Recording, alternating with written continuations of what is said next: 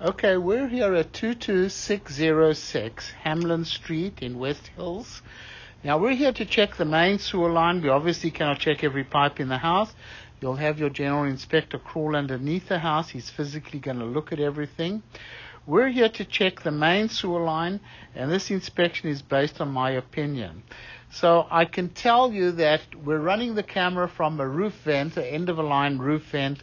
If you face the house on the right hand side, we see the sewer line goes through the house, exits the house on the left hand side over here. And when we came outside, we found a clean out that uh, was a little bit buried under the ground. What we'll do is we'll open it up. We're going to see if it's a two-way clean out when we're done here. Uh, but anyway, we have our camera in the line. We're all the way out to the city connection in the street. So we're going to bring the camera back a little bit. Come back. There's the city connection.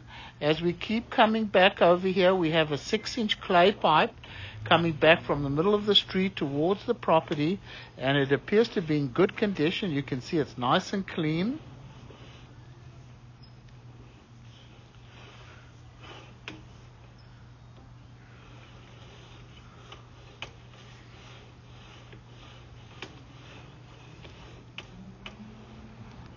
Now you can see, uh, go forward just a little bit.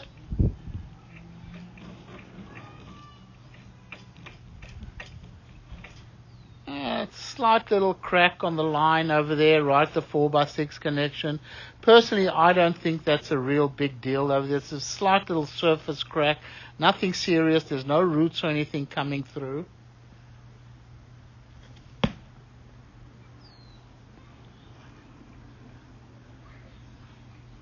As we keep coming back into a four inch clay pipe from the property line running through the front yard and it's going to go underneath the driveway. This all looks like it's in pretty good condition. So the very minor little crack out there, I don't think that's a big deal. That's my opinion. So we're going to just keep coming back. Four inch clay pipe, all looks nice and clean outside.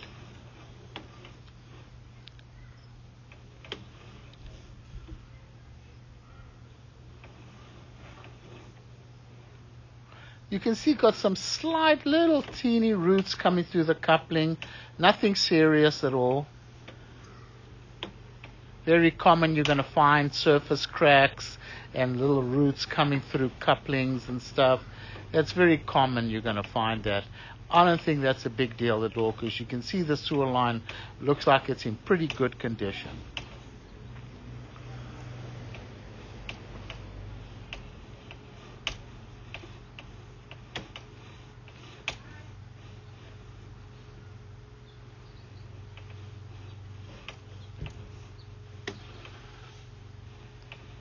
Now right over here, this is where the clean out is, where we're outside of the house that we found. We'll check that to see if that's a two-way clean out anyway. But as we keep coming back from there, we're going to come into a cast iron pipe that appears to be in fair condition. It does have some minor rust buildup.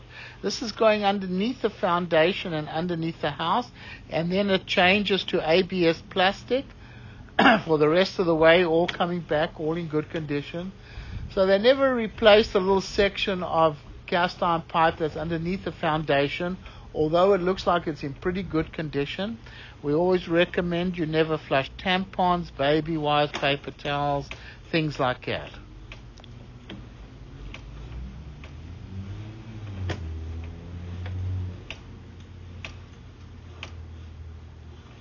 Now, we'll check to see if that is a two-way clean out.